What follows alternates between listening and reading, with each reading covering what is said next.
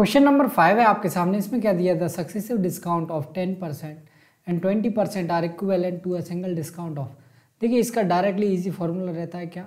Ten plus twenty minus ten into twenty upon hundred ठीक है, ये बिल्कुल इजी फार्मूला है। ये दो ज़ीरो से ये दो ज़ीरो कट गई।